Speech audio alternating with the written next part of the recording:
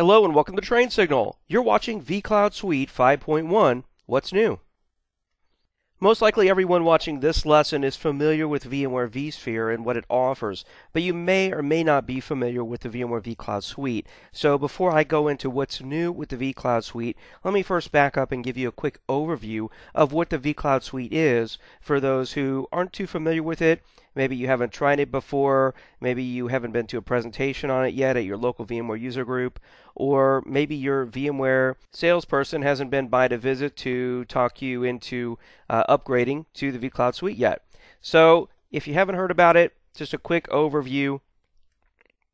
VMware says that the vCloud Suite transforms your virtual infrastructure into an agile cloud.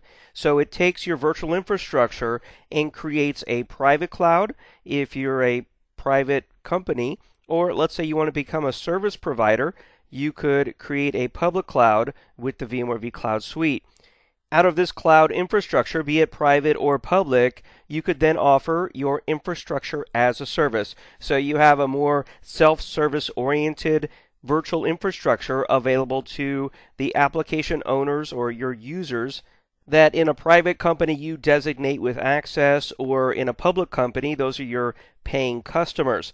So you've got this infrastructure as a service, you've got a private cloud or a public cloud, and the vCloud Suite is made up of multiple different VMware products that make these cloud infrastructures possible.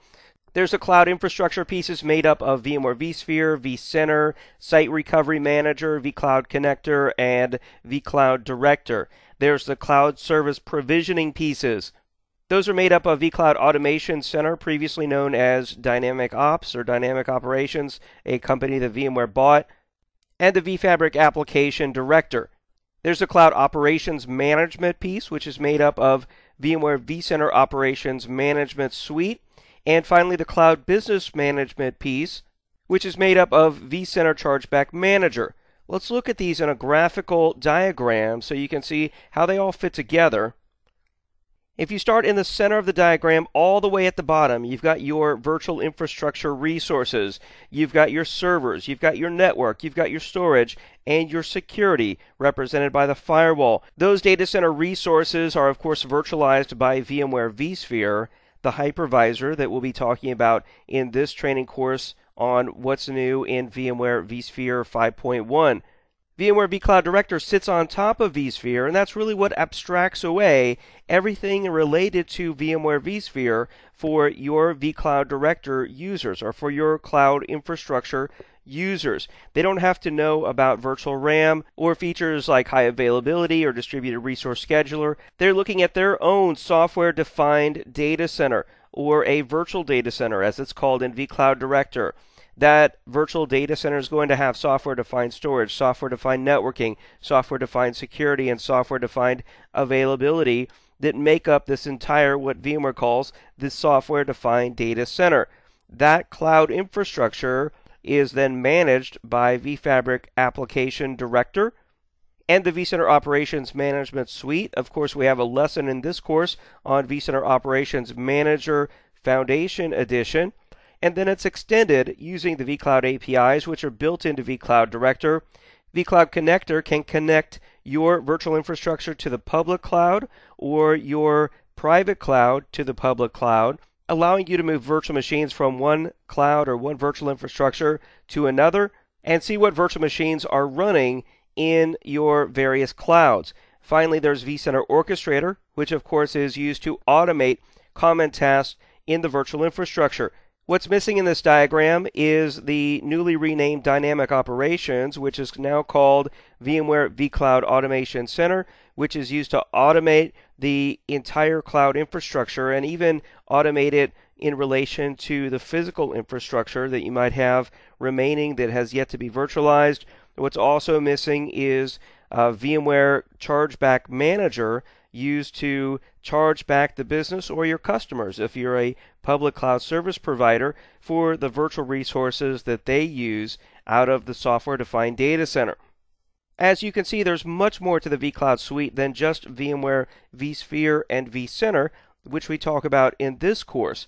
For more information on the vCloud suite, especially vCloud Director. We've got a great vCloud Director Essentials course. We also have a vCenter Operations Manager course and a VMware vSphere Advanced Networking course, all of which would help you to better understand and build your own VMware software defined data center using the vCloud Suite.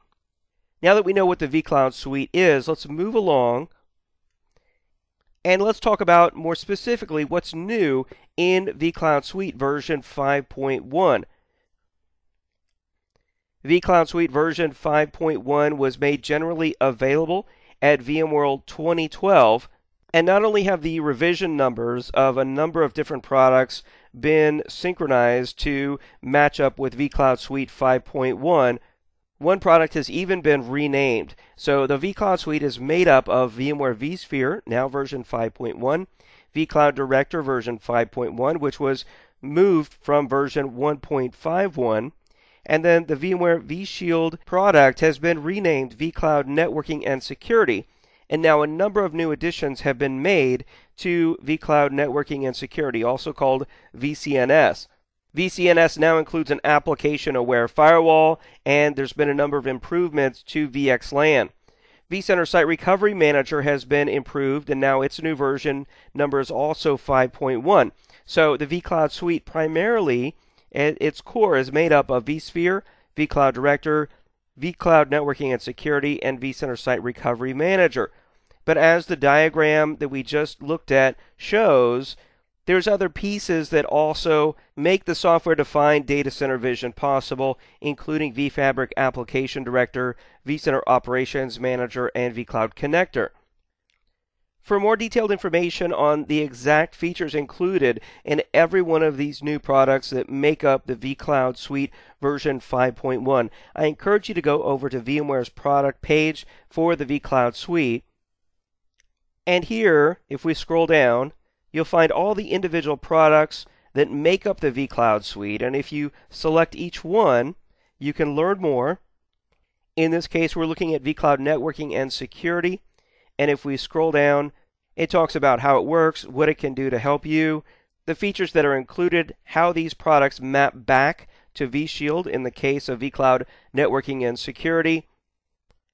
And you should also know that there's various editions of the vCloud Suite available. There's vCloud Suite Standard, Advanced, and Enterprise, and the vCloud Suite product page, if you click on Compare Editions, you'll get to compare the various features and products that make up each of these different vCloud Suite editions. For information about VMware's vCloud offerings from their service providers, if you go to vcloud.vmware.com, here you can get a complete list of the VMware service provider community. All of these service providers are utilizing VMware products to deliver their solutions and if you'd like to get an idea of what the vCloud Suite looks like from an end user perspective, you can also evaluate VMware vCloud offerings with a free trial that's available from a handful of service providers. It's here that you can also download the vCloud connector to connect your virtual infrastructure to the public cloud or your private cloud to the public cloud. And finally, there's a lot to talk about related to VMware vCloud because recently VMware announced that they'll soon be offering their own public cloud. That means their own infrastructure as a service offering that will conceivably compete with these vCloud service providers. VMware's vCloud Suite is a powerful but also complex and potentially costly solution, so I encourage you to learn more about it to find out if it's the right solution for you and for your company. Thanks for watching this lesson covering VMware's vCloud Suite, What's New?